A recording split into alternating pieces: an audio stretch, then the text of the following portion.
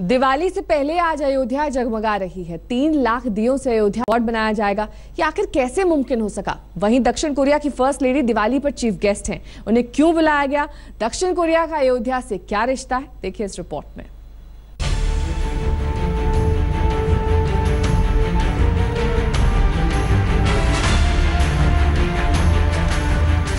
दियों से जगमगाएगी श्री राम की नगरी।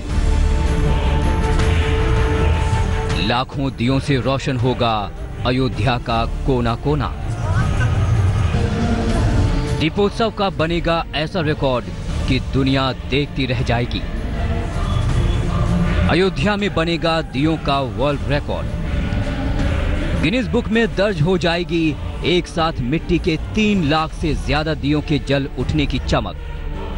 अयोध्या में तीन दिवसीय दीपोत्सव का आज दूसरा दिन है। मुख्यमंत्री योगी आदित्यनाथ और साउथ कोरिया की प्रथम महिला नागरिक, जो कि इस पूरे दीपोत्सव की मुख्य अतिथि है, उनकी उपस्थिति में राम की पैड़ी पर सरयू घाट के पर तीन लाख दिए जलाए जाएँगे। आप देख सकते हैं कि यहाँ पर दिए लगना शुरू हो गए एनसीसी के छात्र और अयोध्या फैजाबाद में जितने भी स्कूल और कॉलेज हैं, उनके पढ़ने, उनमें पढ़ने वाले छात्र वॉलंटियर कर रहे हैं। वे यहाँ पर घाट पर आप देख सकते हैं, दिए दिए लगाए जा रहे हैं। दोनों तरफ़ जो सरयू का किनारा है वहाँ पर दिए लगाए जा रहे हैं। इस पूरे इलाके को राम की पैड़ी कहते हैं।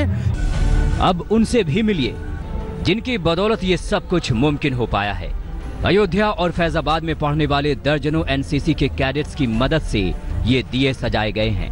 हम लोग सुबह से यहाँ पे आ गए हैं। हम लोग को 10 बजे टाइम दिया गया था। हम लोग 10 बजे से मतलब यहाँ पे काम कर रहे हैं। पहले हमने दिए सजाए फिर उसके बाद यहाँ पे भोजन वोजन की भी व्यवस्था थी हम लोग के खाने के लिए हमने खाया पिया।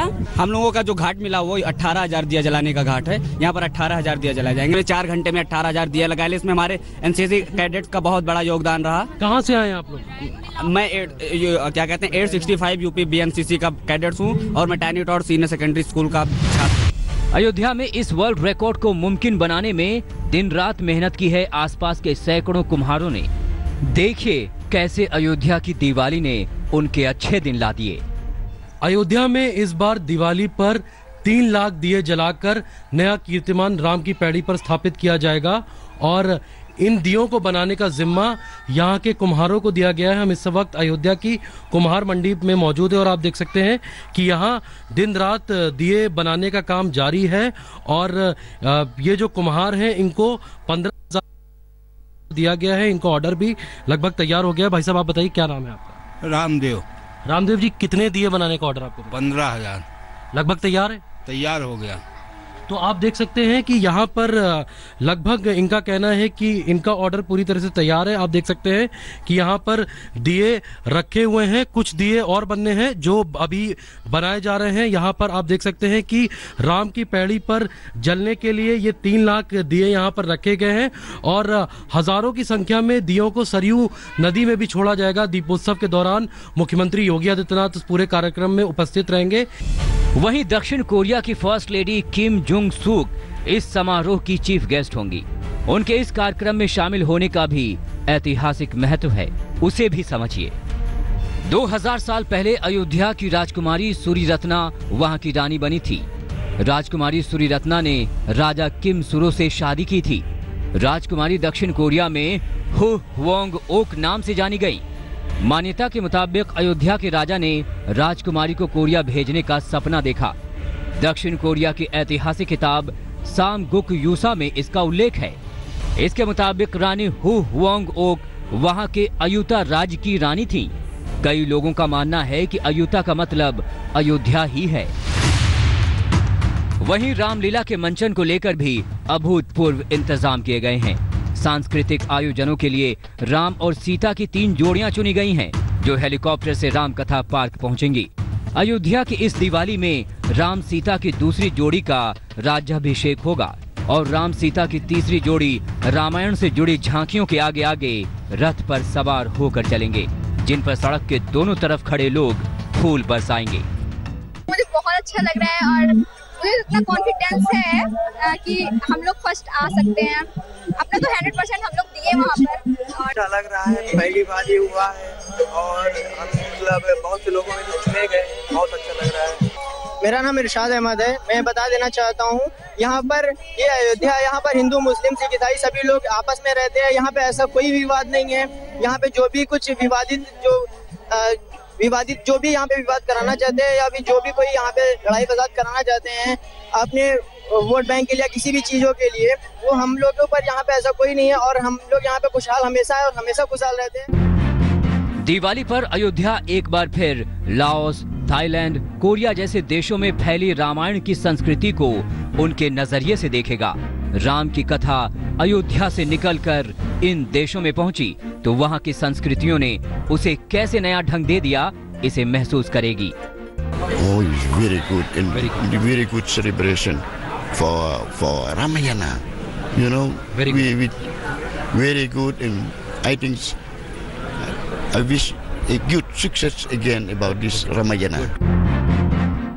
यानी इस दिवाली पर सिर्फ़ अयोध्या ही गुलजार नहीं होगी। बल्कि इसके साथ ही कई देशों का मिलन मर्यादा पुरुषोत्तम श्री राम की नगरी से होगा, जिसके गवाह बनेंगे दुनिया भर के करोड़ों लोग।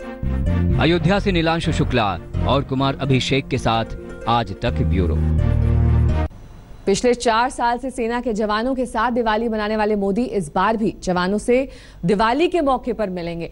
मोदी उत्तराखंड में हर्षिल बॉर्डर पर जवानों के साथ दिवाली प्रधानमंत्री मोदी इस साल अपनी दिवाली केदारनाथ में मनाएँगे। यहाँ पहुंचकर वो भोलेनाथ के दिव्य मंदिर में पूजा करेंगे। आप देख सकते हैं कि इस धाम को कितनी खूबसूरती से सजाया गया है। केदारनाथ मंदिर में तीन क्विंटल से ज़्यादा फूलों की मालाएँ लगाई गई हैं। वहीं बिजली के झालरों से ये धाम जगमग हो रहा है। मंदिर की भव्यता देखते ही बन रही है। रोशनी से सराबोर मंदिर की सुंदरता में चार चाँद लग गए हैं। दिवाली के दिन मंदिर में पाँच हज़ार दिए जलेंगे। अब जानिए मोदी के केदारनाथ कार्यक्रम का क्या होगा।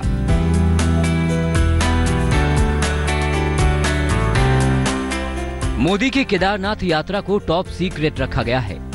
पीएम सात नवंबर को वायुसेना के खास विमान से देहरादून पहुँचेंगे। देहरादून से एमआई हेलीकॉप्टर से केदारनाथ जाएँगे। मंदिर में दर्शन के बाद मोदी सरहद पर भी जाएँगे। मोदी सेना और आईटीबीपी जवानों के साथ चाय नाश्ता करेंगे। पीएम मोदी का दिवाली का कार्यक्रम दो घंटे का ही होगा। सात तारीख को प्रधानमंत्री जी केदारनाथ आ रहे हैं और मुझे लगता है कि भगवान केदारनाथ जी की बड़ी असीम कृपा उन पे है। और जिस कारण जो है वो हमेशा केदारनाथ की ओर खींचे आते हैं और जिस स्वरूप में उनने केदारनाथ और केदारपुरी को बसाया है, एक अद्भुत है। दिवाली के दिन सुबह पीएम मोदी पहुँचेंगे, जबकि 9 नवंबर को बाबा केदार के कपाट बंद कर दिए जाएँगे। मोदी केदारनाथ में पुनर्निर्माण की कई परियोजनाओं का लोकार्पण करेंगे।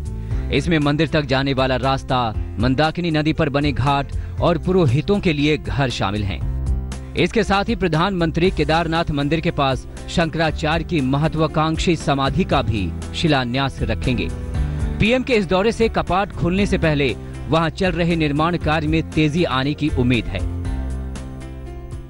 वहाँ उन्होंने सारे कुंड बना दिए हैं। सरस्वती का जो पुल था वो पूरा बन गया है। वहाँ पे लगभग सौ फीट से ज़्यादा चौड़ा स्थान बन गया है। जो वहाँ आदि शंकराचार्य की कुटिया थी वो बन गई है। परसों माननीय मुख्यमंत्री जी और माननीय प्रधानमंत्री जी आ रहे हैं और आज हमने वहाँ जिलाधिकारी को भेजा है सारी व्यवस्थाओं का वहाँ जायजा लेने के लिए। फ़िलहाल पीएम मोदी के इस कार्यक्रम को टॉप सीक्रेट रखा गया है। ऐसा पहली बार नहीं है जब मोदी दिवाली के मौके पर सेना के साथ दिवाली मनाएँगे। मोदी प्रधानमंत्री बनने के बाद अपनी चार दिवाली सेना के जवानों के साथ सरहद पर मना चुके हैं। पीएम मोदी की तर्ज पर रक्षा मंत्री निर्मला सीतारमण इस बार दिवाली अरुणाचल की दिबांग घाटी में चीन से लगने वाली सरहद पर सेना के जवानों के साथ मनाएँगी। रक्षा मंत्री के साथ सेना प्रमुख जनरल बिपिन रावत भी दिवाली के मौके पर सरहद पर जवानों के साथ चाय और नाश्ता करेंगे।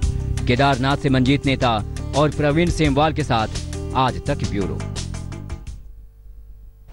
पिछले चार सालों से प्रधानमंत्री जवानों के साथ दिवाली मनाते आए हैं और इस साल भी वो यही कायम रखेंगे। हर्षिल में जवानों के साथ दिवाली मनाएँगे। 2014 में भी उन्होंने सियाचिन बॉर्डर से दिवाली मनाई थी। साल 2015 में पंजाब बॉर्डर वो गए थे। वहाँ पर जवानों के साथ समय व्यतीत किया था। 2016 में इंडो तिब्बत बॉर्डर में वो मौजूद थे।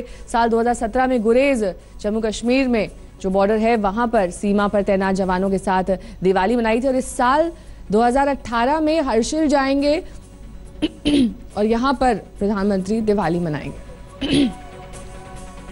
तो आज मुख्यमंत्री योगी पहुँचने वाले हैं अयोध्या और वहाँ पर वो दिवाली की भव्यता को और ज़्यादा बढ़ाएँगे। वहाँ पर सबसे ज़्यादा दिए जलाने का भी आयोजन रखा गया है और प्रधानमंत्री मोदी का कार्यक्रम इस बार वो जवानों के साथ हर साल की तरह दिवाली मनाएँगे। हर्षल बॉर्डर पर। मंजीत नेगी हमारे संवाददाता इस वक्त तमाम जानकारी के साथ हमारे साथ जुड़ गए हैं। मंजीत, क्या तैयारी? सब कुछ जो कार्यक्रम है तयशुदा उसके अनुरूप चल रहा है?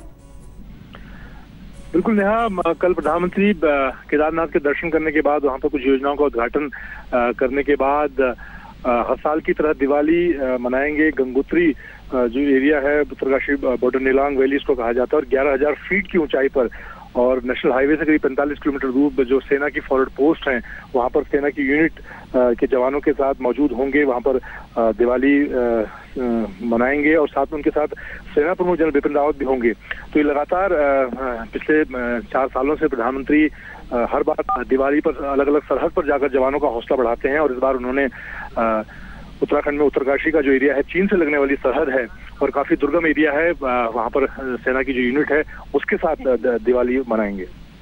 बहुत बहुत शुक्रिया मनजीत इस तमाम जानकारी के लिए आपका।